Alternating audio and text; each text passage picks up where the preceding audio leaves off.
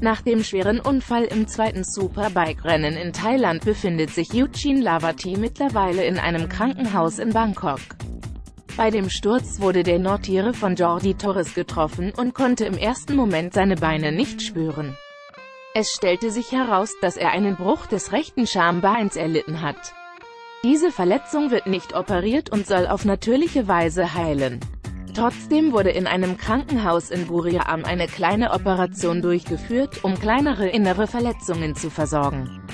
Am Montag wurde Lavati per Helikopter von Buriram nach Thailand geflogen. Noch ist offen, wann der Nordiren nach Europa zurückkehren kann.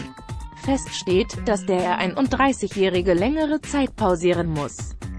Als Comeback fasst er sein Heimrennen in Donington, 25. 27. Mai ins Auge. Das heißt, Lavati wird Rennen in Aragon, Assen und Imolle verpassen.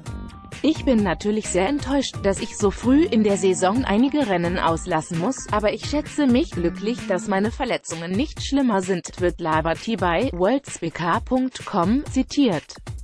Als ich auf dem Boden lag und im ersten Moment meine Beine nicht bewegen konnte, so ein Gefühl hatte ich noch nie zuvor. Torres konnte dem direkt vor ihm gestürzten Lavati nicht ausweichen und erwischte ihn. Der Spanier blieb unverletzt. Lavati muss sich in Geduld üben und abwarten, bis er mit dem Training beginnen darf. Bis zu einem Monat muss er Ruhe bewahren. Ich nehme mir vor, bei meinem Heimrennen im Donington Park zurück zu sein, lautet seine Zielsetzung. Auch in Thailand ist derzeit seine Frau Pepa an seiner Seite.